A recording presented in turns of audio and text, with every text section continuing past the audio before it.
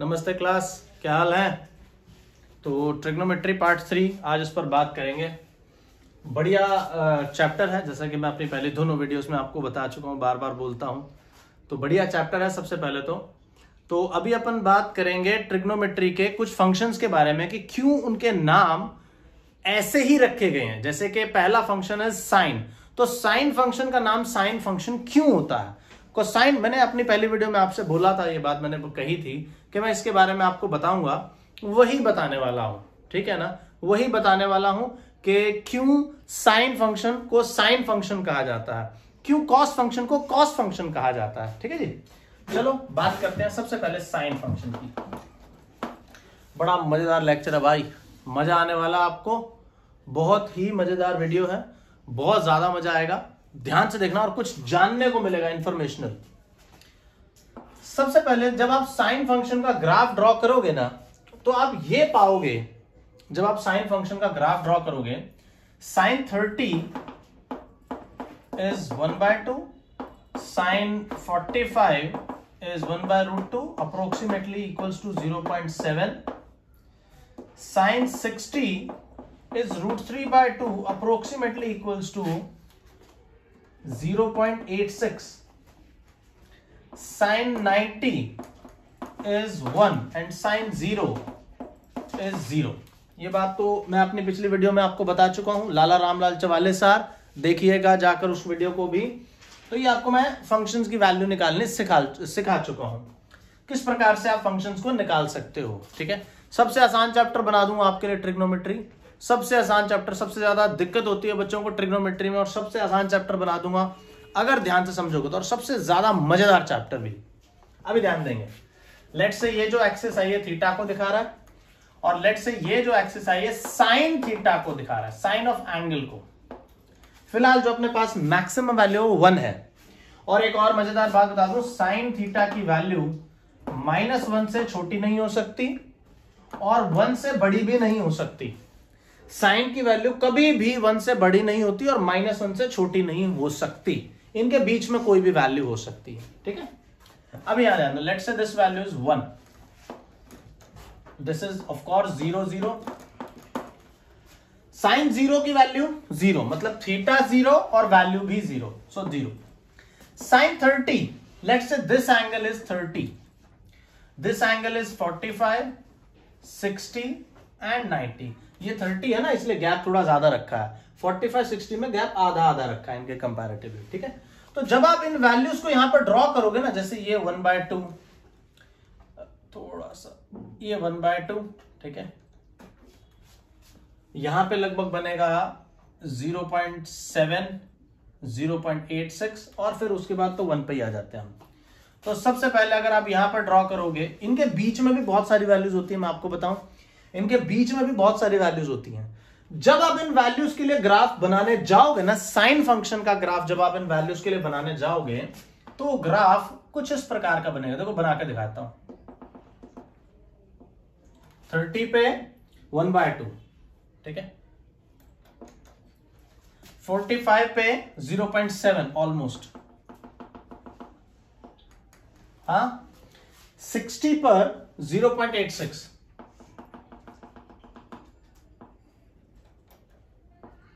और 90 पर one.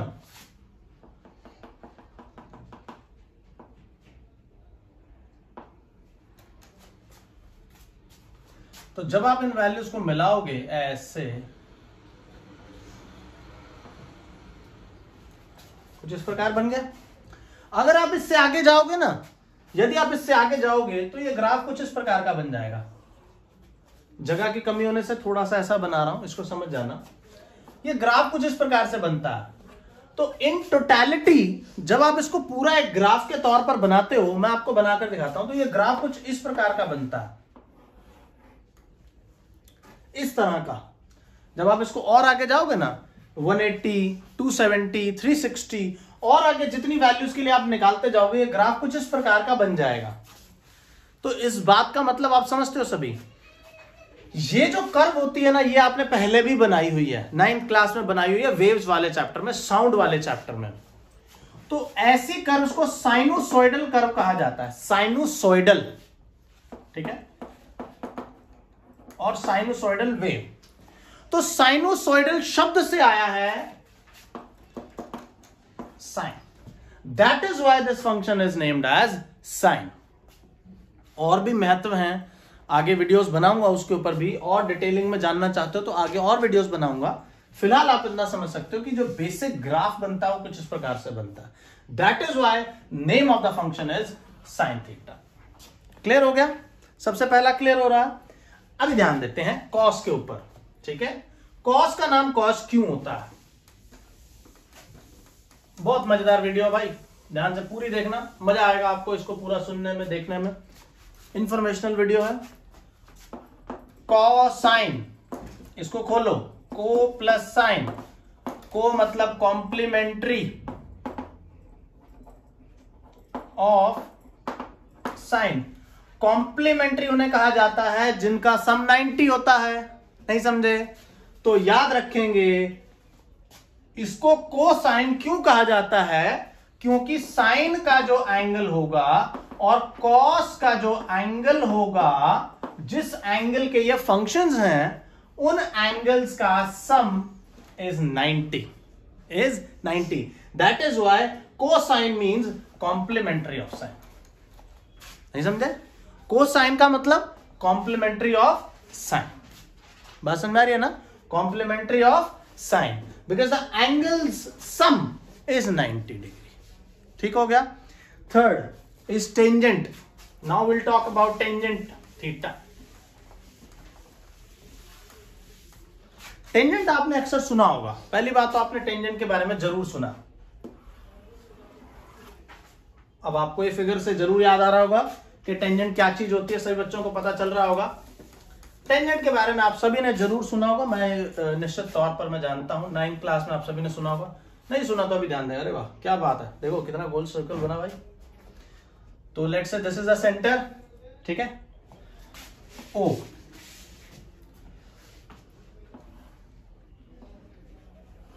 this you all know tangent को हिंदी में बोलते हैं स्पर्श रेखा।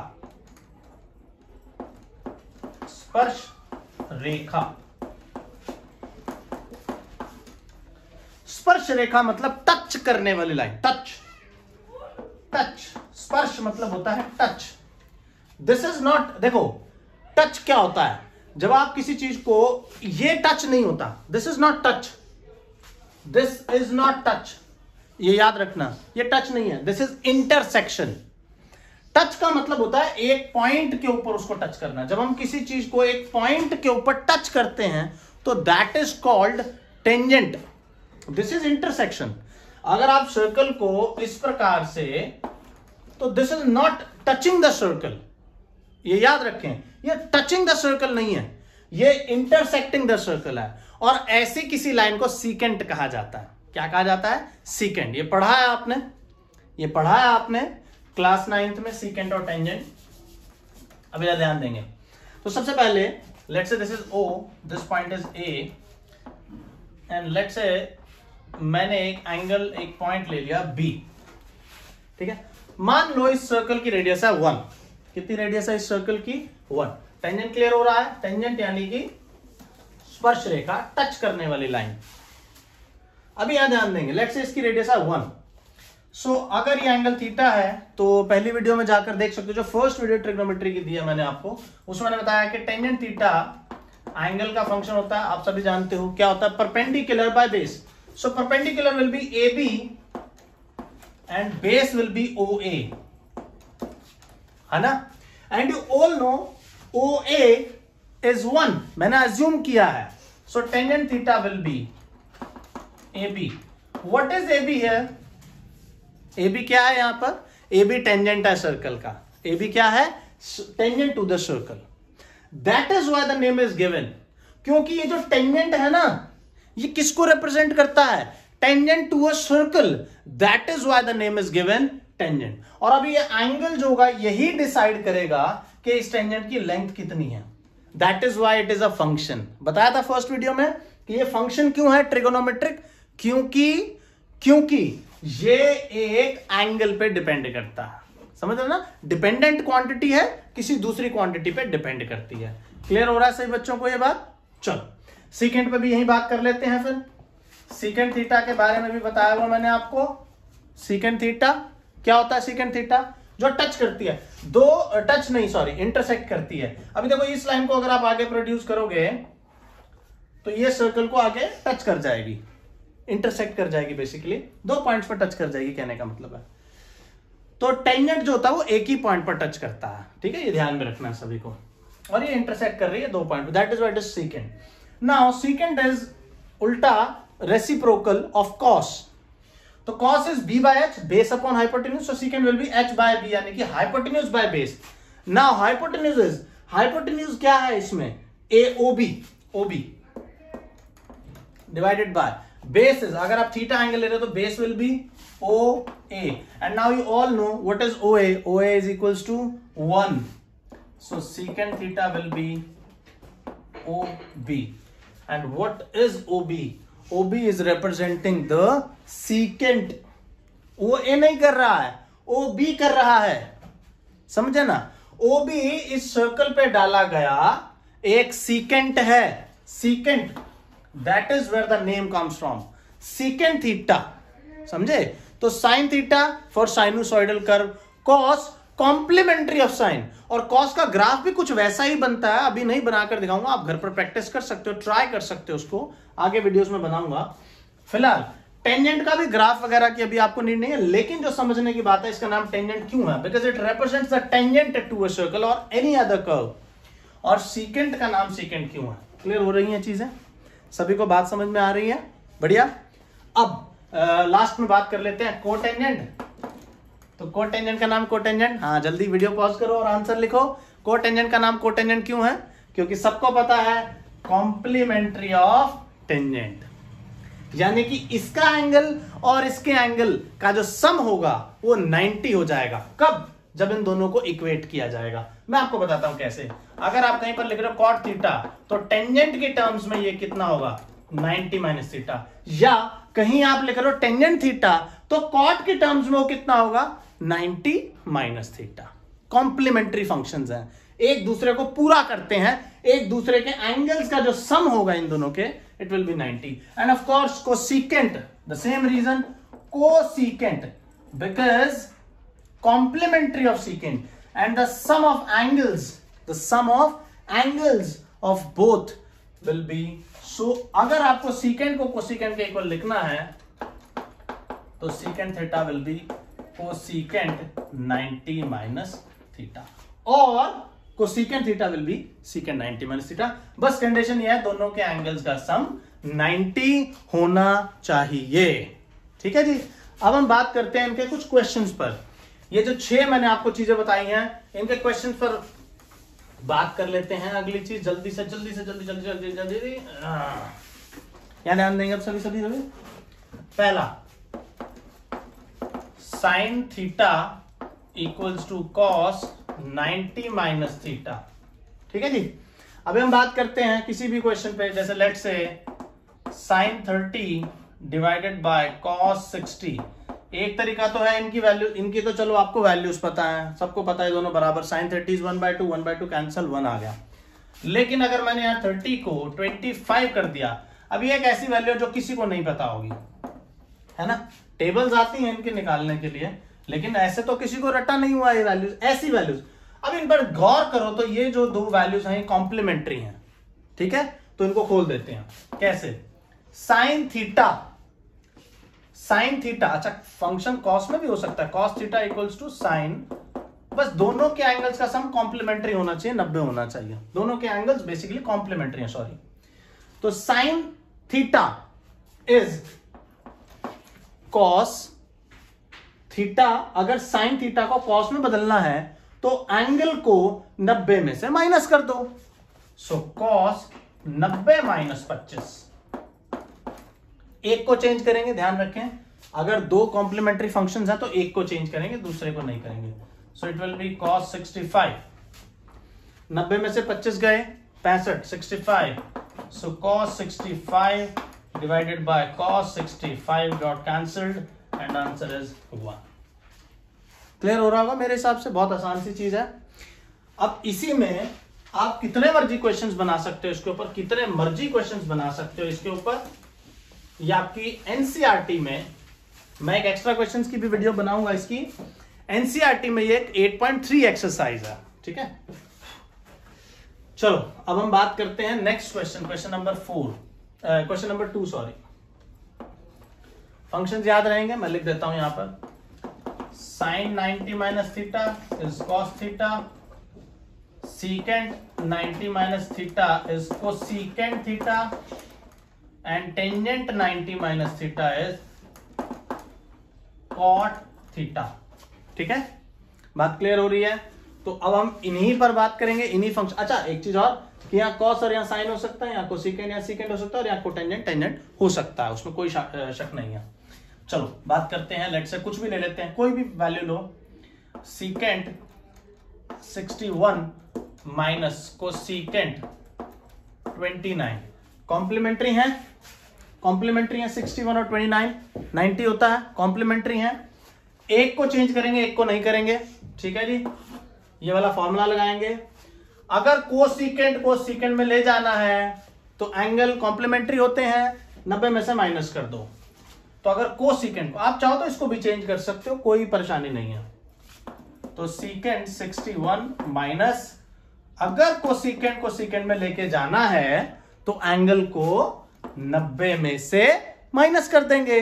तो 90 माइनस 21 समझ रहे हो?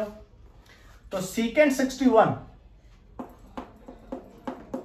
minus secant 61 got cancelled zero divide में आता तो वन माइनस में आया तो ज़ीरो समझ रहे हो गए बहुत बेसिक क्वेश्चन हैं। अब उसके बाद देखो, अगला क्वेश्चन देखो। क्वेश्चन नंबर थ्री कुछ इस प्रकार का क्वेश्चन एनसीआरटी बेस्ड करा रहा हूँ। हल्के हल्के से क्वेश्चंस आराम आराम से बढ़िया क्वेश्चन हैं। तीसरा क्वेश्चन देखो एनसीआरटी e का कोई कोई पिक कर लेते हैं। लेट से यहाँ पर दिया हुआ है secant A minus seventy equals to को cosecant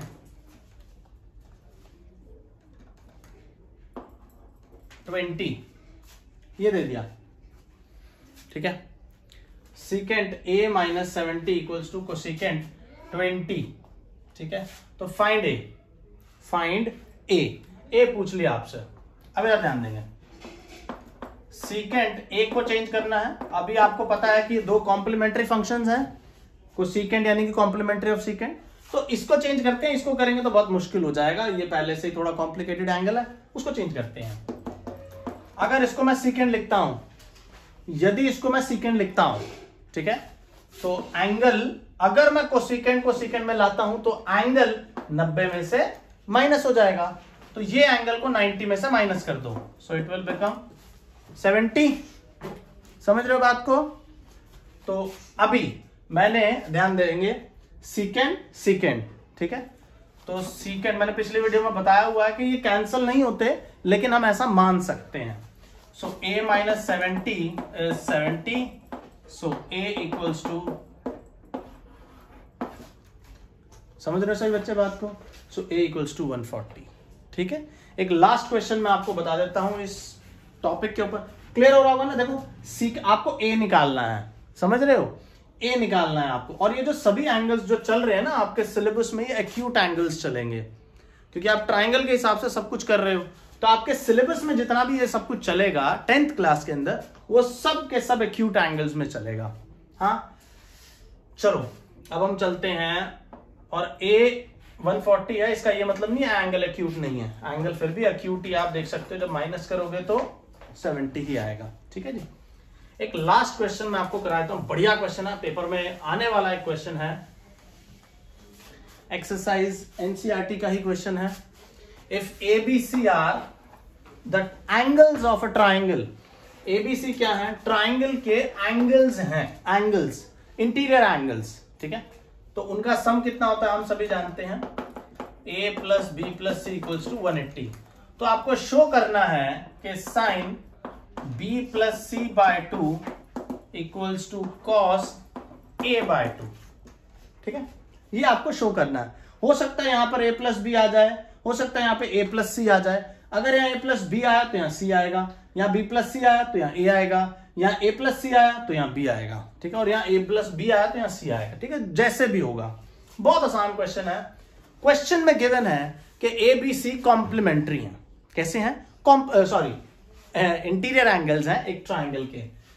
interior angles interior angles का मतलब जो ट्राइंगल के इंटीरियर एंगल्स होते हैं, उनका सम कितना होता है? सभी बच्चे जानते हैं। 180? Angle sum property, nine class. अब यहाँ ध्यान देंगे। यहाँ से बन, चलते हैं और ये बनाना अपने को। बहुत आसान क्वेश्चन है, चार स्टेप में आंसर आएगा। पहला, गिनते मत रहना भाई, एक आधा फालतू भी हो सकता है, कम भी कर सकता हूँ। यहाँ ध्यान देंगे कि गिनने लग जाओ भाई। ये फ़र्स्ट स्टेप नहीं है, ये स्टेटमेंट है। So B plus C equals to 180 minus A क्यों किया ऐसा मैंने? क्यों कर रहा हूँ मैं ऐसा? क्वेश्चन है कि मैं ऐसा क्यों कर रहा हूँ? मैं ऐसा इसलिए कर रहा हूँ क्योंकि मुझे आंसर में, देखो बी प्लस सी एक तरफ़ चाहिए और ए एक तरफ़ चाहिए। मैंने वही किया। बी प्लस सी एक तरफ़ रखा ए दूसरी तरफ़ ले गया। हाँ? एक और बात। जैसा क्वेश्चन में दे रखा होगा, वैसा ही हम करेंगे। अगर यहाँ ए प्लस बी दिया होता तो मैं ए प्लस बी को इधर रखकर सी उधर ले जाता। ए प्लस सी इधर रखकर बी उधर दे जाता। जो दिया होगा, जिस हिसाब से दिया होगा। सो मैंने बी प्लस सी रखा वन एट्टी माइनस ए ठीक है? अब इसको देखो। अपने आंसर को देखते रहो। और ये कंडीशन गिवन थी। तो इसको लेकर चला। जैसा जैसा मुझे क्वेश्चन में दर्शाया गया है, दिखाया गया है, उसको लेकर चलेंगे और बना देंगे। B plus C by two B plus C by two इधर किया है तो इधर भी करेंगे। ठीक है? ये टू अलग अलग हो जाएगा। इधर अलग हो जाएगा ऐसे। इधर अलग हो जाएगा। हाँ? So it will become b plus c by 2 equals to 180 by 2 is 90 minus A by 2 step number तीन हो गया हमारा। क्लियर है? पहले b प्लस सी एक तरफ़ रखा, एक तरफ़। फिर बाय में टू दोनों साइड कर दिया। ये बन गया, ठीक है? अब लास्ट स्टेप साइन अप्लाई करेंगे। अब तुम कहोगे साइन ही क्यों कर रहे हैं? कोर्स क्यों नहीं किया? भाई देखो कॉस के साथ एंगल ए बाय टू है।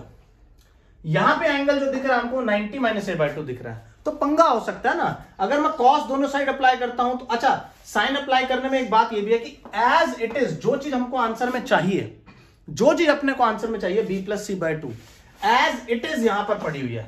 और उसके ऊपर कौन सा फ़ंक्शन है? साइन तो अगर मैं यहाँ साइन अप्लाई करता हूँ तो सीधे सीधे आंसर बन जाएगा ना? एटलीस्ट इधर बनेगा। और अगर यहाँ अप्लाई करता हूँ तो साइन 90 माइनस थीटा क्या होता है? कॉस थीटा बन गया आंसर दोनों साइड साइन अप्लाई कर दो तो साइन मैं यही दिखा देता हूँ। एक स्टेप नहीं तो मेरा फालतू हो जाएगा। तो साइन इधर भी और साइन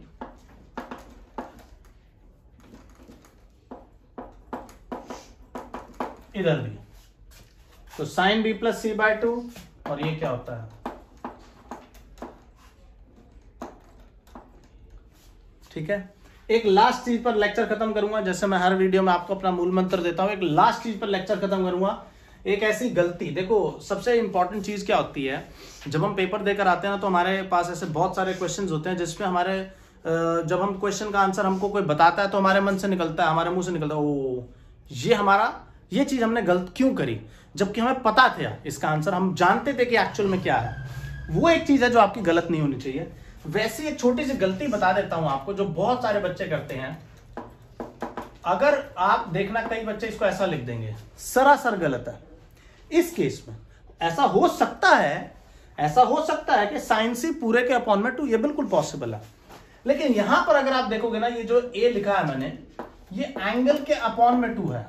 इस टू को भूल कर भी इसके पूरे के अपॉन में ना लिखें, वो एक गलती मानी जाएगी। समझ रहे सही बच्चे? वो एक गलती माने। अब मैंने लिखा sine B plus C by two अब ये जो टू है, मैंने पूरे के अपॉन में लिख दिया तो ये एक गलती है। ये एक मिस्टेक है। ये ना करें, इससे बचें। Good bye class bye